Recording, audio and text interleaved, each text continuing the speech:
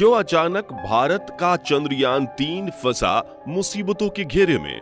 भारत के साथ Russia, America और यूरोप स्पेस एजेंसियों ने क्यों किया अपने ट्रैकिंग डिवाइस को एक्टिवेट? और आखिर क्यों चाँद की तरफ़ जाने वाले गैलेक्टिक हाईवे पर सफ़र करना इतना मुश्किल? दोस्तों, भारत से रवाना हुआ चंद्रयान तीन अंतरिक्ष में कीर्तिमान रच रहा है।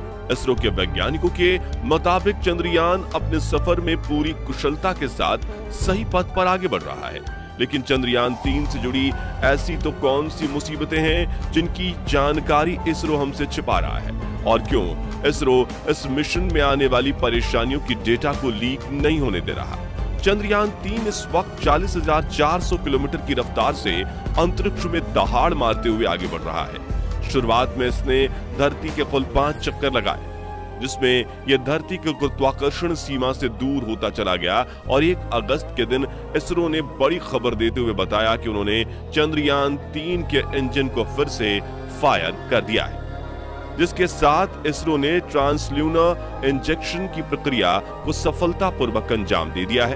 दरअसल दोस्तों, चंद्रयान मिशन की यह प्रक्रिया काफ़ी ज़्यादा मुश्किल थी, क्योंकि अगर इसमें इंजन को कम या ज़्यादा समय के लिए फायर किया जाता तो पृथ्वी की गुरुत्वाकर्षण सीमा इस पर हावी हो जाती और इसे अंतरिक्ष में कहीं दूर फेंक देती।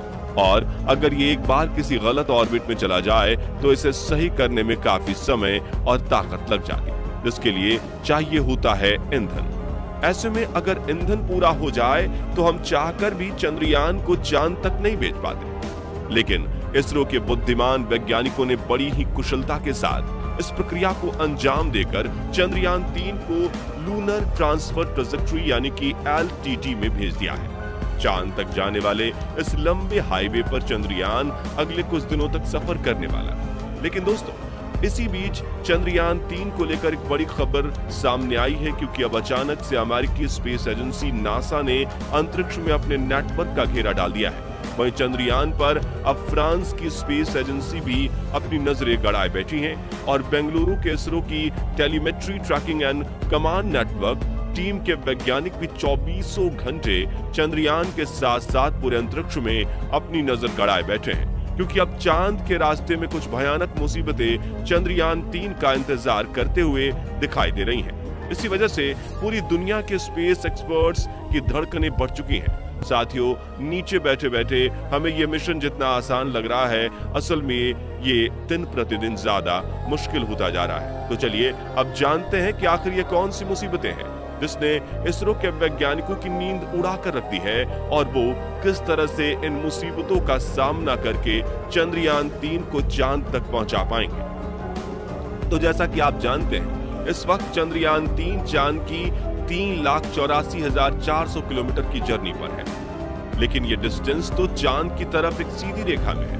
जबकि चंद्रयान तीन तो पृथ्वी के अंडाकार चक्कर लगाते हुए चाँद के हाईवे को पकड़कर चाँद तक पहुंचेगा। सीमा से बाहर चंद्रयान तीन की रक्षा के लिए उसके अपने अलावा और कुछ मौजूद नहीं है। ऐसे में ये पिंड भी चंद्रयान तीन के इस लंबे गैलेक्टिक हाईवे के सफ़र की बड़ी चुनौती बन रहे हैं। वहीं अंतरिक्ष की धूल यानी स्पेस डस्ट को, जो कॉस्मिक डस्ट के नाम से भी जानी जाती है, ये चंद्रयान तीन के लिए किसी बड़ी मुसीबत से कम नहीं क्योंकि अगर ये टकरा गई तो स्पेसक्राफ्ट के बहुत सारे सेंसर्स खराब हो सकते हैं। हालाँकि दोस्तों, अब आप सोच रहे होंगे कि क्या इसरो ने इन सभी मुसीबतों के बारे में नहीं सोचा? तो बता दें कि अंतरिक्ष को लेकर इसरो के वैज्ञानिकों के पास बेशक हमसे ज़्यादा दिमाग है और उन्होंने इनसे बचने के लिए कई तरकीबें भी लगाई हैं। जैसे कि इसरो ने निष्क्रिय सैटेलाइट अंतरिक्ष का कचरा और अंतरिक्ष में तैर रहे पिंडों के बारे में पूरी रिसर्च और कैलकुलेशन करके चंद्रयान तीन की लॉन्च डेट मिशन रूट और रफ्तार उसी तरह से चुनी है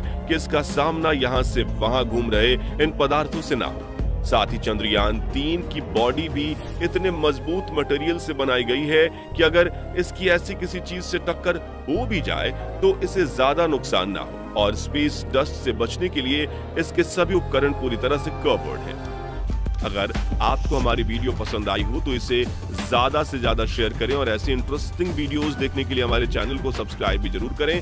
साथ ही बेल आइकन को भी प्रेस कर दें ताकि हमारी नई वीडियोस की नोटिफिकेशन आपको मिलती रहे। धन्यवाद।